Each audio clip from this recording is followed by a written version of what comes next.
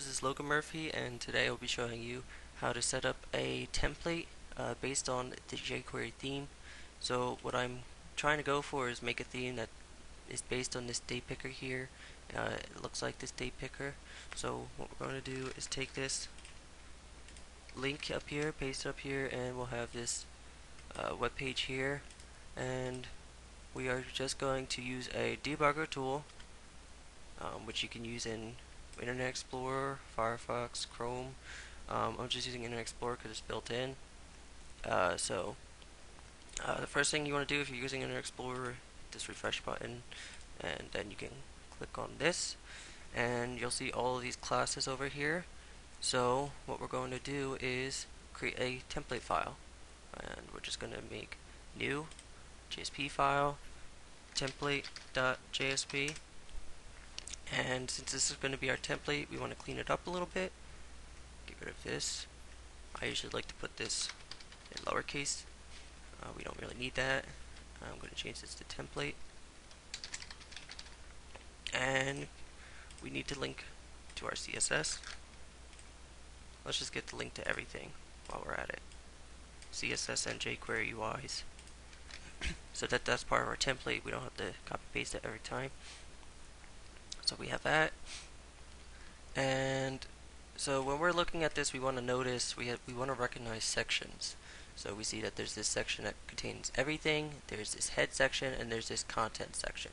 So we're going to create a div, and another div, and another div. And we'll format it. And those divs are just going to have classes. So like I told you, like I've recognized, is this is the one that contains everything, this is the head, this is the content. So let's use this to select the thing we're interested in and we want to just find classes that we think are going to be uh, essential in getting the correct look. So I see that UI widget adds a font family and a font size so that would be important to me so UI minus widget. And I also see that this has a color border and a background. Uh, so I'm going to also use UI minus widget minus content. So we'll scroll down and UI corner all looks like something that would because that gives me rounded corners. So UI minus corner minus all. So we'll keep, keep scrolling down. We're not really interested in date picker class. Okay, that looks like uh, all the classes we would need, and let's just, for now, let's put something in here. So, shop, content. So I was putting these in the wrong class, so I'm going to just move these. Save it, and we will just run as on server, finish, and here it is in the gray box that we want. Uh, it looks like the page so far. So next thing we have to target is this head bar.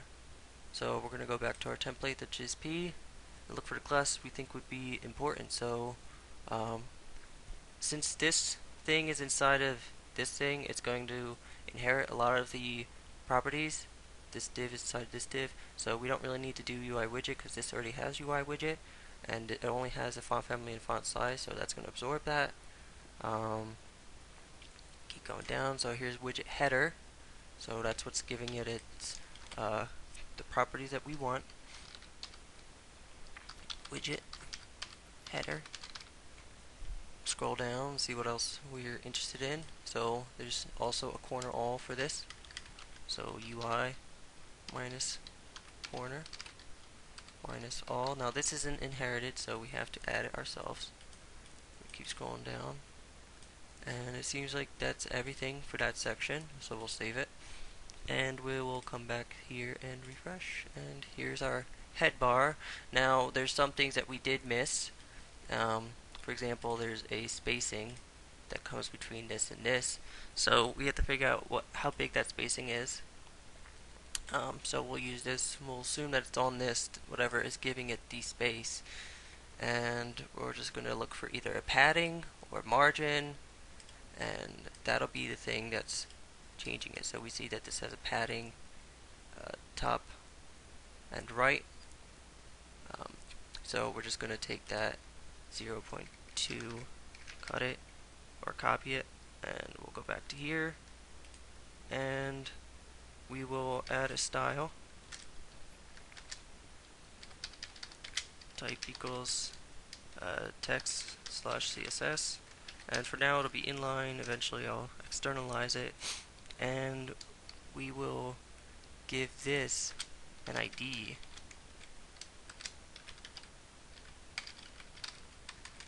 and we will CSS select that by well this doesn't need the pound CSS select by ID and set the padding to be 0.2 EM like they have it and we'll save it, we'll format it, save it again, come back here, refresh, and it has that border now.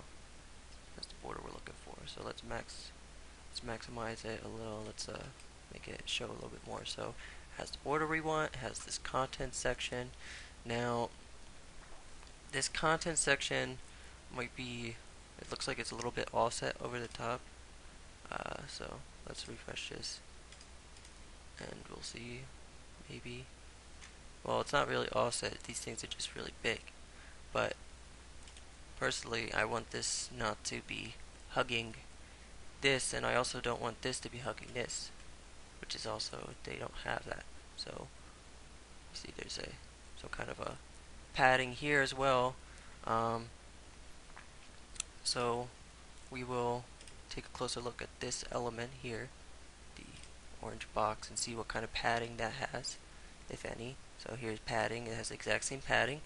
So we're just going to give that an ID, header, we'll just call it, and this will also be applied to the header.